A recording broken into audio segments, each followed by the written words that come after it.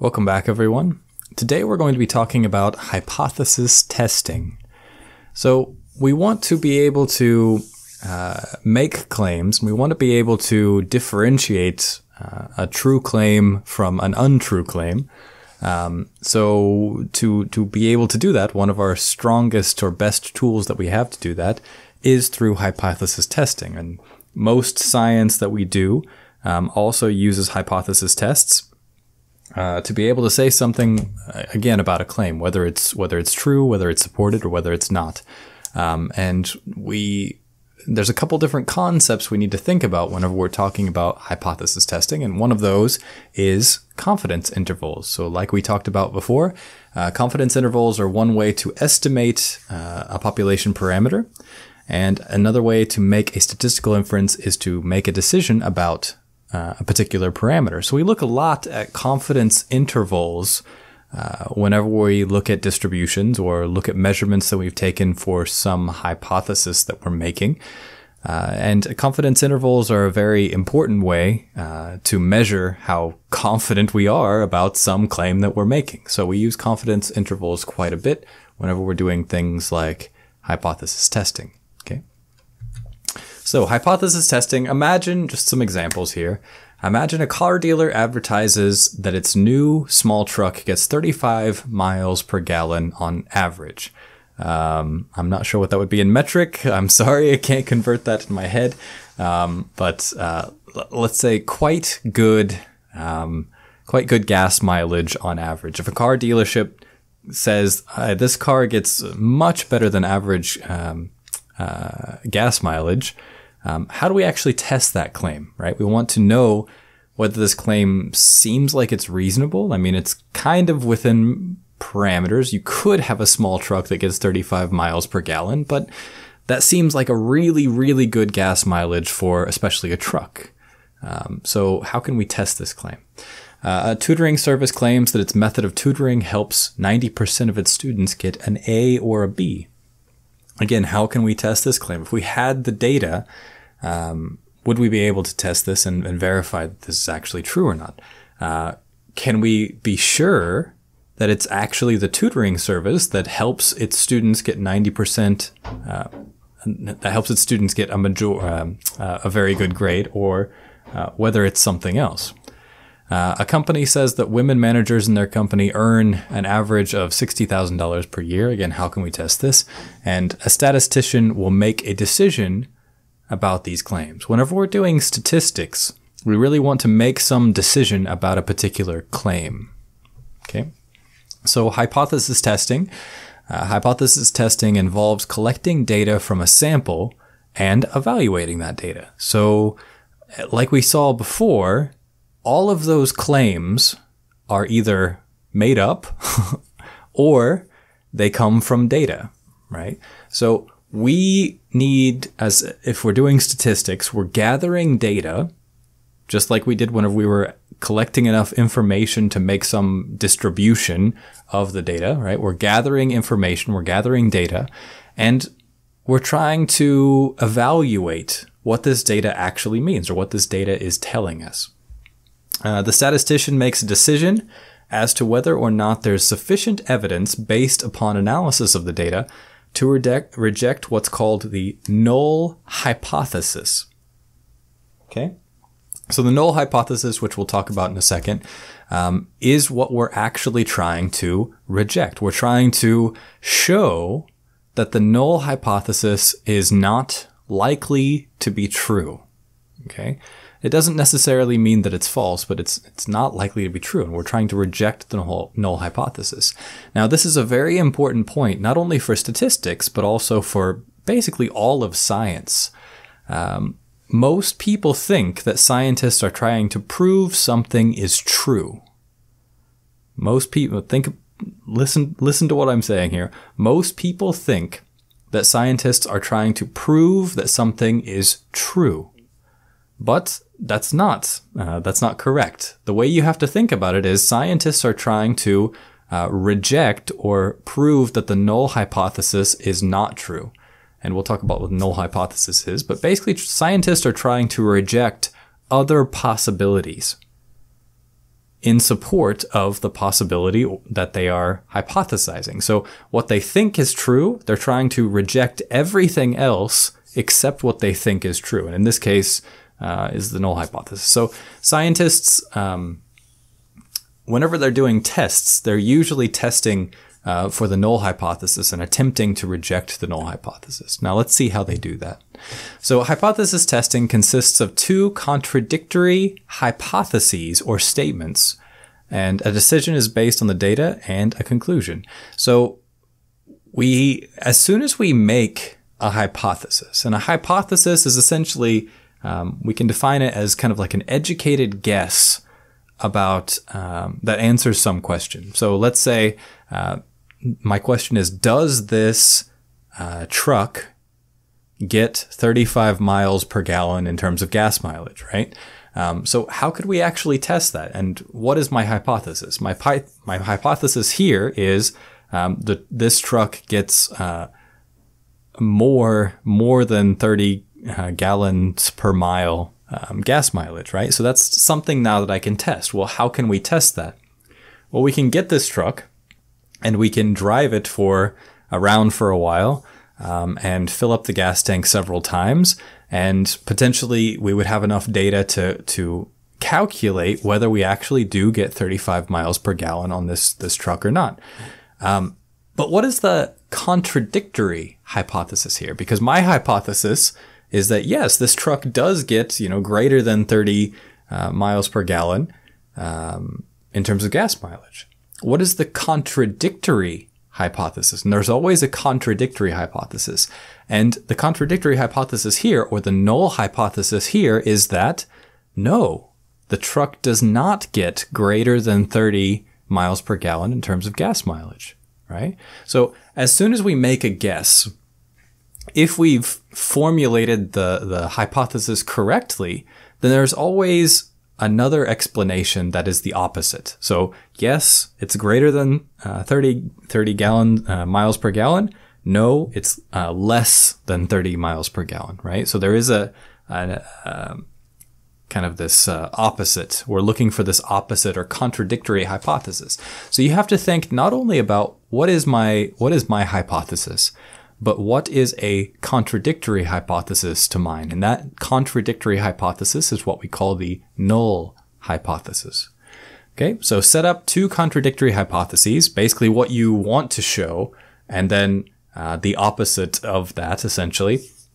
Um, and we are trying to disprove the opposite of that. And that's, um, it seems counterintuitive that we would try to disprove the opposite of what we're trying to prove, but um, it believe me, it, it makes sense once you start doing it. Okay. Um, so we set up these two contradictory hypotheses and then we collect sample data. We determine the correct distribution to perform the hypothesis test. Now, here we come back to the distribution of our data. What is the distribution of our data? And uh, if our data is distributed normally, or we have a normal distribution, then it becomes actually quite easy to analyze our data. Now, other other distributions are useful as well, but uh, the normal distribution is quite straightforward.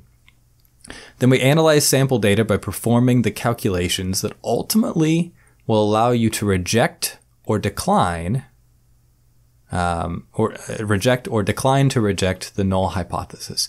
So basically, we are we are trying to say that we either reject the null hypothesis as in we, we do not believe that the null hypothesis is supported, or our data shows that we can't reject the null hypothesis. We can't say that the null hypothesis is definitely not true, basically. Okay, so we have we have uh, rejection of the null hypothesis or um, non-rejection of the null hypothesis. We haven't shown that the null hypothesis is not true, Therefore, we cannot say that the hypothesis, the, the actual hypothesis that we want is true because the null hypothesis could still be true, right? We can't reject it. Um, uh, depending on, yeah, based on our data, if we can't reject it, we can't necessarily, we don't really know what is true. We can't find enough evidence to support either case, okay? Uh, and then we make a decision and we write some sort of meaningful conclusion. And this is I guess, one of the most important parts, right? Once we make a decision, once we say that no, we cannot reject the null hypothesis, or yes, we can reject the whole null hypothesis, I'm confident we can reject the null hypothesis. So our hypothesis is supported or is significant, we'll say. Um, if our hypothesis is significant, then we need to make some decision about what our data is actually telling us. And we'll talk about that in a second. Uh, and then we need to write a meaningful conclusion. And this meaningful conclusion is essentially the, the knowledge that we found, right? So the study that we did, uh, did we find out that the car dealer was actually lying whenever they said that the truck gets 35 miles per gallon? Um, what what type of meaningful conclusion can we pull out of this? And we need to write it or represent it because if we don't, then no one else will get access to that information. If no one else can get access to that information, then we are the only ones with that knowledge and why should anyone believe us right if we don't if we don't actually give them the studies that we've done if we don't show them that our conclusions are correct uh, why should anyone else believe our conclusions? Okay, so uh, getting knowledge out there is also a very important part of hypothesis testing or statistics and, and basically science in general. Okay, so next, uh, null and alternative hypotheses. These are what contain the opposing views. So the null hypothesis is essentially going against my proposed hypothesis. It's the opposite and the alternative hypothesis is the hypothesis that I am proposing. Okay, so more formally, the null hypothesis is a statement about the population that either is believed to be true or is used to put forth an argument unless it can be shown to be incorrect beyond a reasonable doubt. And this is really what we're trying to prove here. Can it be shown to be incorrect beyond a reasonable doubt? Okay, and this is what we can measure. We can say that um, this null hypothesis, if, if our data does not support the null hypothesis, and we can say that our data uh, does not support the null hypothesis and it is incorrect beyond a reasonable doubt, and we can measure um, essentially how much confidence we have in that in that um, uh, in that s- claim, right? Because we've talked about confidence intervals, we can measure how confident we are uh, that we are far away from our null hypothesis and closer to all our potentially closer to our alternative hypothesis. So our alternative hypothesis is a claim about the population that is contradictory to the null hypothesis and what we conclude whenever we reject the null. So if we have enough data to be able to reject this null hypothesis or the statement uh, that is believed to be true, um, or uh, basically we can just show that the null hypothesis is incorrect. This is the uh, opposite of what hypothesis we kind of want to prove um, then we can say that we accept our alternative hypothesis and we can show um, we can show by rejecting the null how confident we are that our alternative hypothesis is actually significant or um, is is correct essentially. Okay. Uh, this brings us to error testing, and there are two different types of errors: type one and type two. So um, the basically the best way to think about these is just have me read them out. Um, so the decision to is not to reject H0 whenever H0 is true. So if we decide not to reject H0 when H0 is true, this is a correct decision. Okay, so here we have uh, action H2, H0, which is H0 is the null hypothesis, by the way. H0 is the null hypothesis. So we do not re- reject the null hypothesis whenever um, the null hypothesis is true, and this is the correct outcome. So that is actually not an error at all because it's true, right? So this is a true, um, what we call a true positive. Uh, if we uh, the decision to reject H0 when H0 is true, um, and this is an incorrect decision known as a type 1 error. And here we have, we are rejecting the null hypothesis whenever the null hypothesis is actually true and we have an, a type 1 error. And this can happen sometimes. So we might reject the null uh, whenever the null is actually true. That is called a type 1 error. Okay. The decision to not reject H0 whenever, in fact, H0 is false, we have an incorrect decision known as a type 2 error. So here we have Uh, we do not reject the null hypothesis, and null hypothesis is false. So we accept the null hypothesis even though it's false. That's a type 2 error. Okay, and then the decision to reject uh, the null hypothesis when H0 is false. This is a correct decision whose probability is called the power of the test. So here we have two correct outcomes and two types of errors. Basically, where we have a um, uh, a true negative and a false positive. True negative, false positive. Okay, um, so those two different types of errors that we can get, and by using those errors, uh, we can calculate the error rate of our overall um, experiment or test. And this is one reason this type of error or these type of types of errors is one reason why we replicate science so much. Uh, if we just ran the, an experiment for one time, for example, we collected uh, a bunch of data and we just ran an experiment once, then we might get some of some of these errors dealing with our hypotheses, right? So if I just ran it once, then I might get a type 1 error, but I don't know that I got a type 1 error because I only ran the experiment once. This is why experiments tend to be run multiple times. Uh, maybe we collect data multiple times and actually analyze the data multiple times, or um, separate the data into multiple parts and analyze these different parts to see if we're getting different types of errors.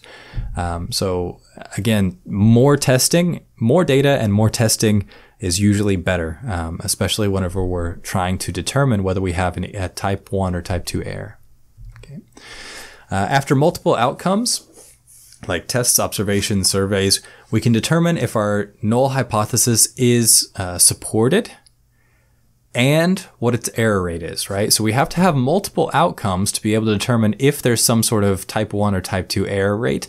And out of these multiple outcomes, we can figure out is our null hypothesis supported or not supported? Can we reject the null hypothesis or not? Um, if we can't reject the null hypothesis, then uh, the the, the uh, alternative hypothesis that we have proposed uh, is essentially not supported or it's false, or we can't statistically say whether it's supported. If we can reject null hypothesis, then that means that um, our hypothesis is more likely to be supported. Uh, instead of finding out how much of something, we're trying to explain uh, the cause of something, essentially. Okay. Uh, a systematic way to make a decision of whether to reject or not reject the null hypothesis is to compare the p-value, p-value, uh, and a preset or preconceived, uh, what we call significance level. Okay, uh, so basically we are trying to determine whether our alternative hypothesis is what we call significant. Okay, you can think of the p-value. P-value. Well, let me let me re- read it first. So p-value is the probability that if the null hypothesis is true, the null hypothesis is true, the results from another randomly selected sample will be as extreme or more extreme as the results obtained uh, from the given sample. Uh, a large p-value calculated from the data indicates that we should not reject the null hypothesis, and a the smaller p-value, uh, the more likely the outcome and stronger the evidence against the null hypothesis. So uh, essentially, you can think of uh, p-value kind of like a threshold. Um, it's uh, how do I say this? It's kind of like a threshold of acceptance.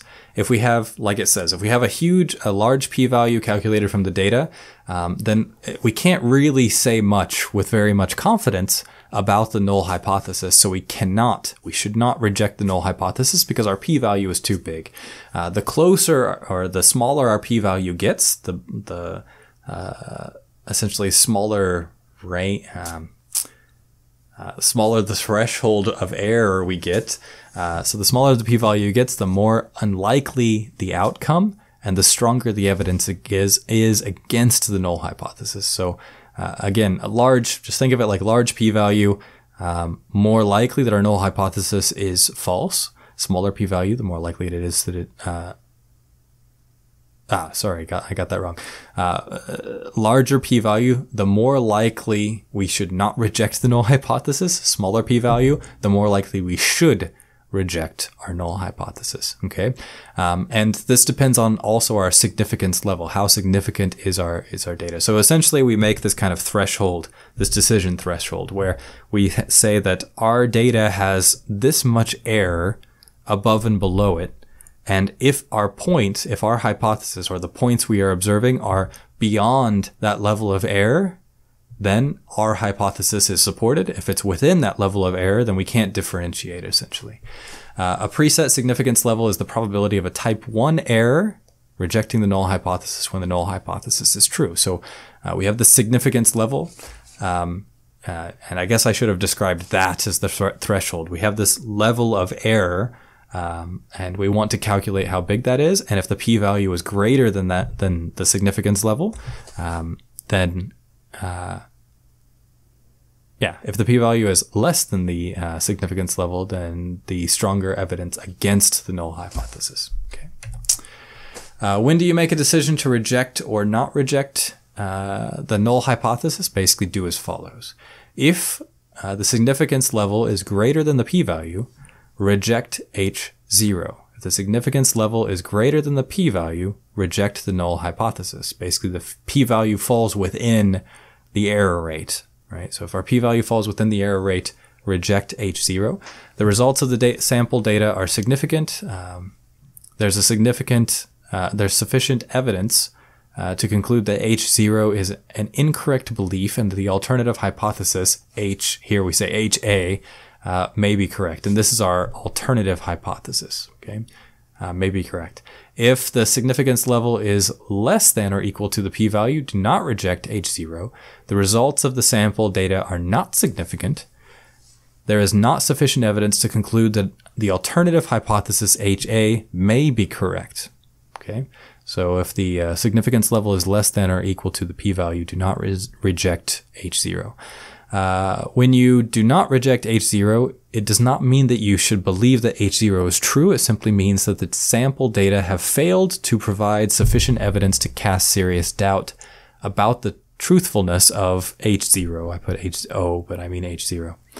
Um, and this is this is one thing that a lot of people get wrong, and this is kind of this is actually very similar to court. So think about court. Whenever we find somebody not guilty in court, does that mean that they are innocent? No.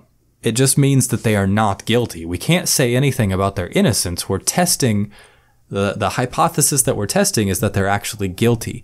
If we say not guilty, then basically what we're doing is saying that we do not have evidence to, we don't have enough evidence to say that they are guilty, but we also don't have any evidence to say anything about whether they are innocent or not. So we make a claim of not guilty. And this is the same thing. So when you do not reject H0, it does not mean that you should believe H0 is true. We're not saying we support H0. We're just saying that we don't have enough evidence to prove that it's false. We don't have enough evidence to prove that it is false. We don't have enough evidence to reject it, right? So um, basically, rejecting the null uh, doesn't say anything about, in this case, whether a, uh, the null hypothesis is true. It doesn't say anything, uh, just like courts doesn't say anything about the innocence of the of the person. Um, all we're trying to do is look for a particular claim, a claim that somebody is guilty, a claim that uh, uh, an alternative hypothesis may be true, right? Um, so this is kind of an important point. It's it, it's not very clear to most people, but just think of it like court. Um, we're, we are trying to test for guilt. Uh, we don't say anything about the innocence of the person, but we can say, do we have sufficient evidence to say that they are guilty? If we don't, then we say that they are not guilty. But that's not the same thing as saying that they are innocent. Okay.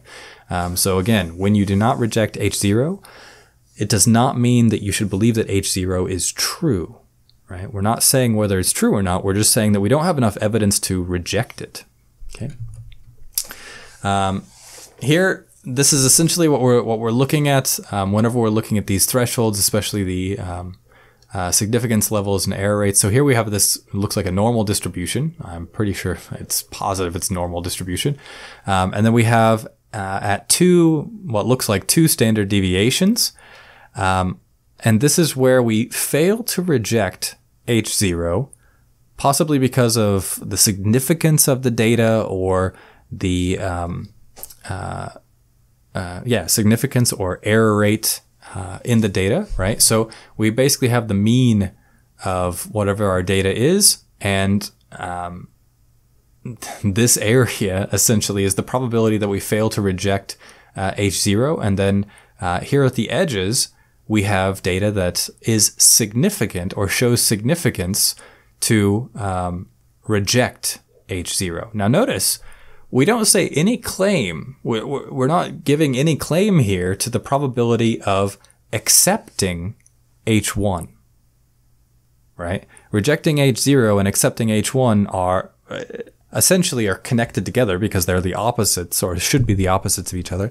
But here we are only testing whether we accept H0 or reject H0. If we reject H0, then we can cl- conclude that H1 is supported because it's the opposite. But um, here we're basically saying within this range, we fail to reject the null hypothesis. And anything in this case after two standard deviations, because of the data that we have, uh, anything after two standard deviations, we reject H0 and therefore uh, accept or support H, uh, the alternative hypothesis. Okay, so this is kind of what the distribution would look like. Uh, so consider what the p-value means and make sure you form your conclusions. Like what does it mean for the null hypothesis to be supported or not supported? Um, again, one of the biggest problems that people have is actually forming a proper uh, hypothesis.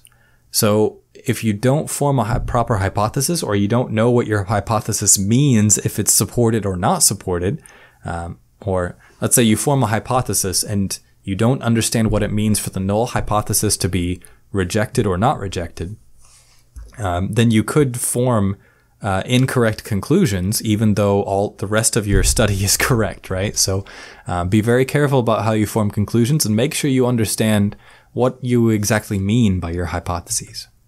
Okay, so that's it for uh, hypothesis um, testing with single um, single samples. Uh, next, we'll talk about hypothesis testing with uh, multiple samples. Thank you very much.